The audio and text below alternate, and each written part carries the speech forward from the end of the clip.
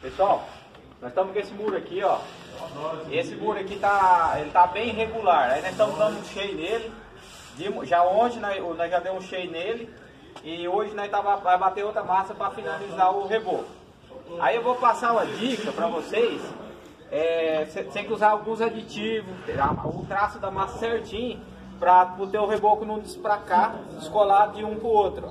Primeiro você vai bater a massa no chapisco, depois você vai bater outra massa aqui em cima. Aí vou fazer um traço ali de massa agora e vou falar para vocês os produtos, os aditivos que nós estamos usando aqui para aderir bem em cima da massa. Pausa aí. Olha só, ó. Nós vamos usar aqui o bianco, tá? Para aderência.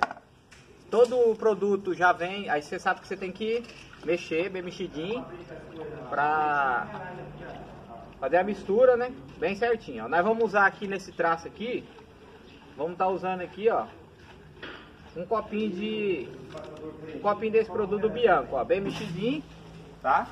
A água já tá aqui, ó, só tá só a água aqui. E vamos usar aqui também, vamos usar aqui o aditivo, o plastificante da quartzolite, ó. Nós vamos usar ele para ajudar a dar liga, para nós não usar muito cal. Eu já vou colocar a tampinha aqui, ó, duas tampinhas dessa aqui, ó, medidinha bacana. Ó, já joga aqui dentro mesmo, ó. Aqui dentro não vai ter perda. Então tá, ó, estamos usando o Bian e o plastificante. Agora, agora o, o Isaías vai jogar meio saco de cal. Ali tem um vídeo anterior meu aí, tá ensinando vocês cortar o cal certinho, dividir aí, ó. Meio saco de cal. Ah, o traço é isso aí, ó. Joguei uma água ali. A água você tem que jogar aí e dosando a massa dependendo do jeito que você vai... Você gosta, mais dura, mais firme. Agora vou deixar ela bater um pouquinho.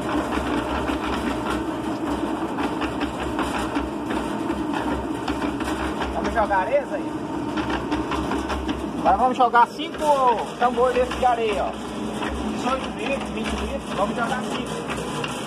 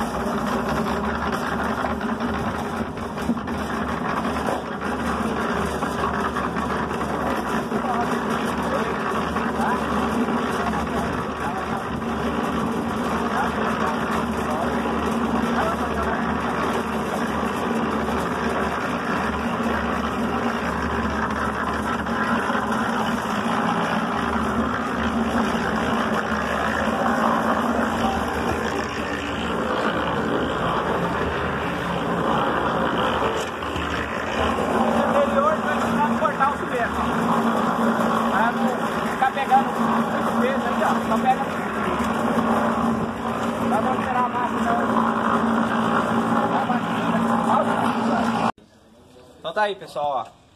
A massa tá pronta, tá? Usemos, usemos aí o meio litro de bianco nesse traço. Meio litro de bianco e duas tampinhas daquela do, do, do plastificante. Água, você vai colocando. Cinco tambores aqui de areia. E meio saco de cimento. Não usou meio saco. Cortou o saco de cimento certinho. Meio saco de cimento, meio saco de cal. E tá aí o traço, ó. Agora vamos chapar a massa ali.